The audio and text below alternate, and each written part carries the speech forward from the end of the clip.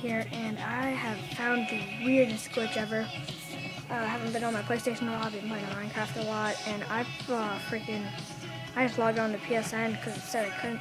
I just logged on and had to restart Need for Speed Hot Pursuit, uh, or no, not Need for Speed Hot Pursuit, uh, what's it called? Uh, Most Wanted, and as you can see, easy drive right there.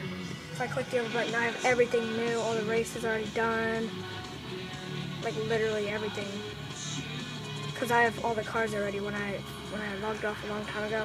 And I had like most of the upgrades and I have all the most wanted guys done already.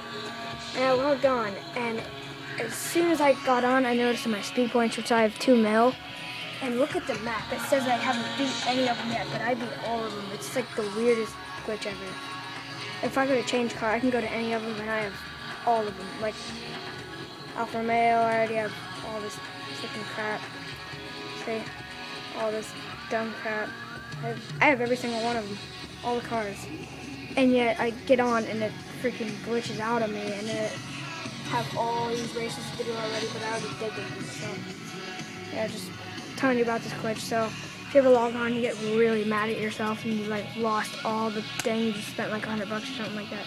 Just like something. Oh my god, my controller's glitching out again. Anyway, I just to you with that glitch. So weird. Need for Speed needs to patch this. So just getting this out there. So see you next time. Xitman 60. Uh, like, comment, and subscribe.